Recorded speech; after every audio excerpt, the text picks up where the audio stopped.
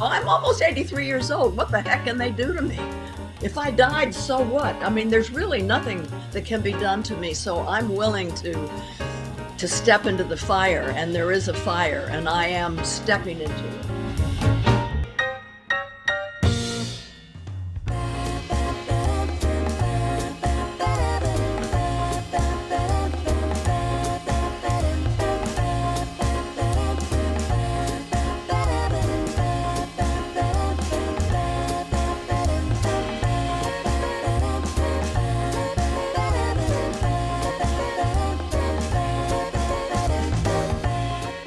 I know in my heart of hearts that I am doing everything in my human power to address the climate crisis.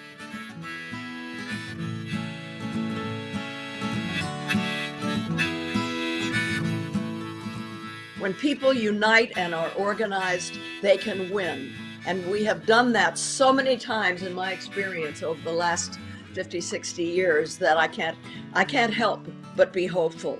Those four months in Washington, D.C., wearing red and having a rally every Friday and engaging in civil disobedience, every Friday, two thirds of the people there were women. Most of them were older women. And I think this is very important. With age, you become more confident. You, you know, you learn to step into your skin and own your space. It took me a long time into my 60s before I could really own myself fully. And that should be a good thing for people who are watching this. You know, it's never too late. Don't give up.